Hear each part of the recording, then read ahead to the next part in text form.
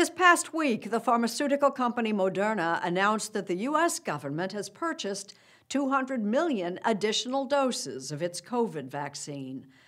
And as NPR's Allison Aubrey reports, fighting COVID could be just the beginning.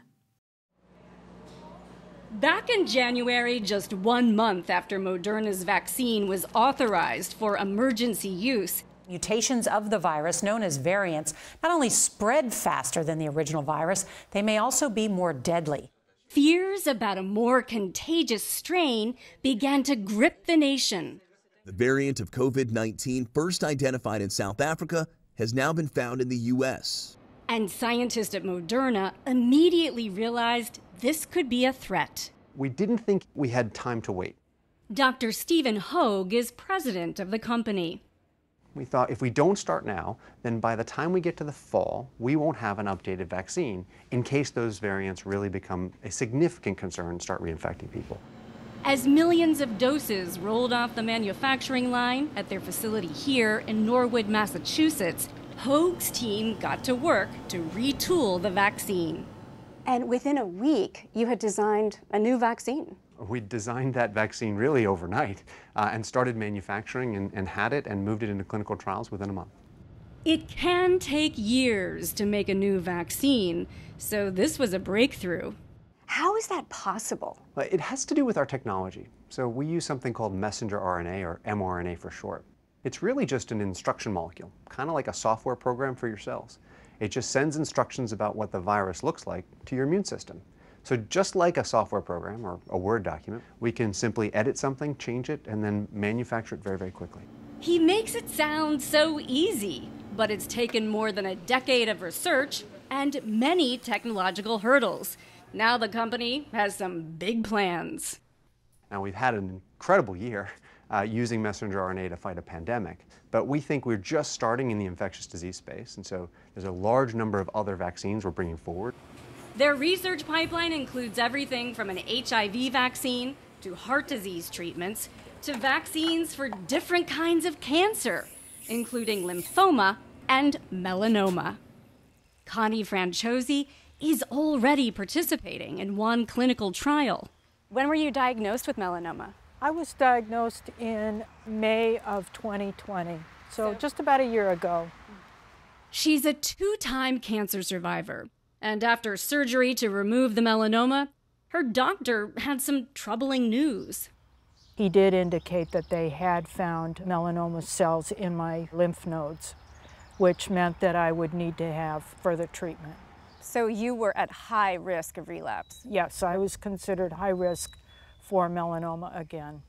She started on a cancer fighting immunotherapy drug, and she was offered the chance to get the experimental messenger RNA vaccine designed to prevent a relapse.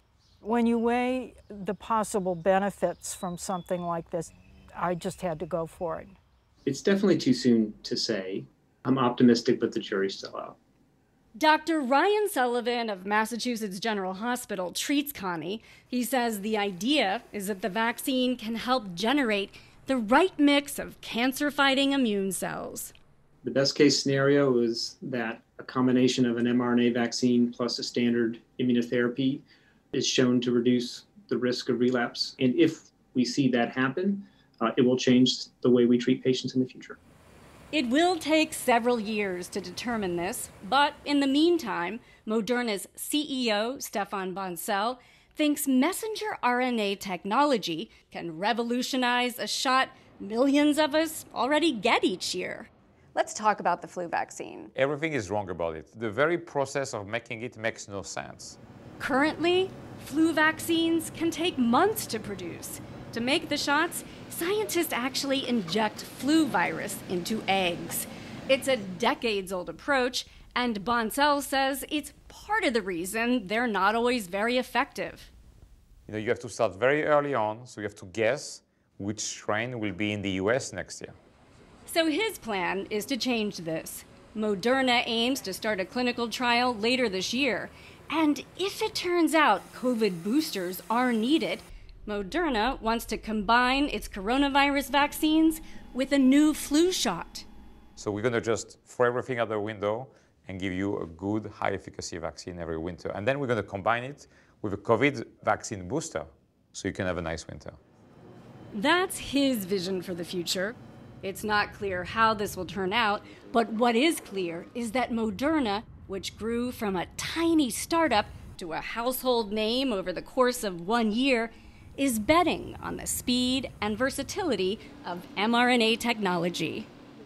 So basically, you have developed a delivery system for all kinds of different medications or therapies. That's really the promise of the technology. It really is the same system every time. Just like we updated our vaccine in January for the new variants of concern in SARS CoV 2, we can actually update it to go after all of the other viruses that we're looking at just as quickly.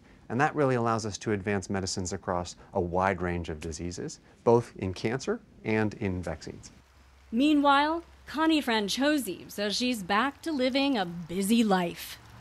It seems like you have a lot to live for. I do.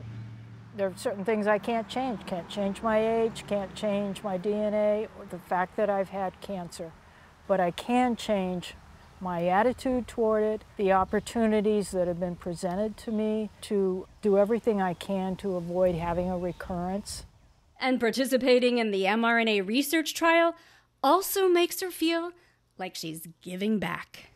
I feel very fortunate. I feel very fortunate indeed to have this opportunity because you're helping humanity, you're helping people down the road, people you'll never meet.